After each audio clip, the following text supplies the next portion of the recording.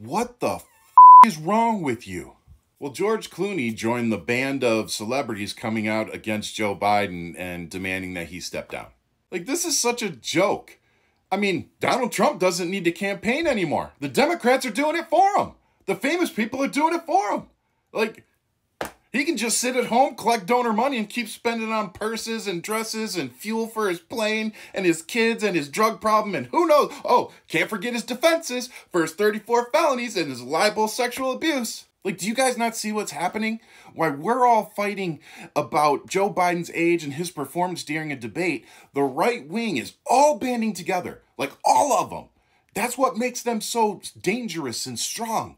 And they're standing next to Donald Trump a felon, a business fraud, a, an abuser, like not to mention the 70 plus boxes of classified material he took to his private residence, gassing American citizens, asking some of his administration if he could just go ahead and take care of them. Like, there is no comparison. I can't believe that the Democratic institution is literally sitting there going, you know, Joe Biden's a little bit old. Let's go ahead and give Donald Trump a second run at overthrowing our government. That sounds like a great idea. And if we're going to talk about age, you do realize Donald Trump's like 78, right? He's like a whopping three or four years younger than Biden, so. And I'm pretty sure that Trump's cholesterol levels and blood pressure is a heck of a lot worse than Biden's. And Donald Trump, you know, challenging Biden to a golf swing and talking about his physical fitness. Have you seen that dude swing a golf club? Like, he's the reason they call it a stroke, because every time he swings that thing, he looks like he's gonna kill over. And all the people talking about Kamala Harris should step in, she's the vice president. She already steps in if something happens. We're already voting for her. Like, God forbid something happens to Biden, what happens? There's a succession line for a reason. Kamala becomes president. Now, they don't want that. I don't know why Democrats don't want that.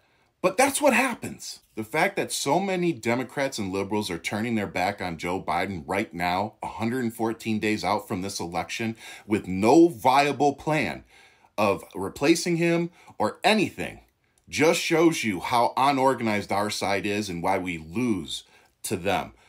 And in case you need someone to tell you this, the popular vote alone is not enough to win somebody the election. So even if Joe Biden gets 5 million, 10 million, 15 million more votes than Trump, if we don't take care of the electoral college, we're still going to be fucked at the end of the day. So can we stop playing stupid ass games, please? And finally, you know what? This is interesting, but I have an idea that for some reason I haven't seen many or anybody come up with. How about, I know, crazy, but what if they both dropped out?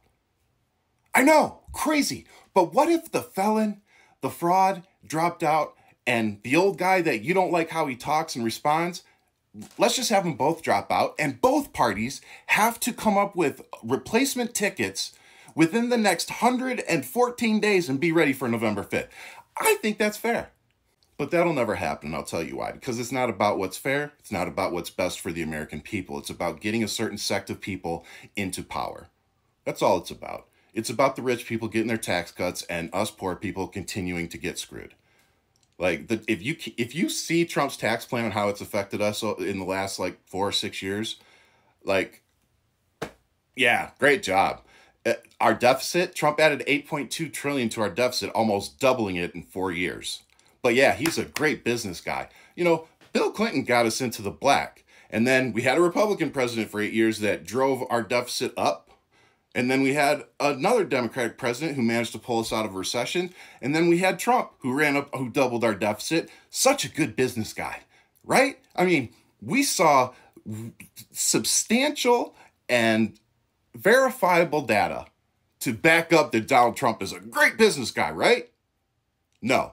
We saw once again that Donald Trump is a failure at everything he touches, and the only thing he's good at is conning you out of your money. I'm voting for Joe Biden and Kamala Harris or whoever the the Democratic Party decides to put up.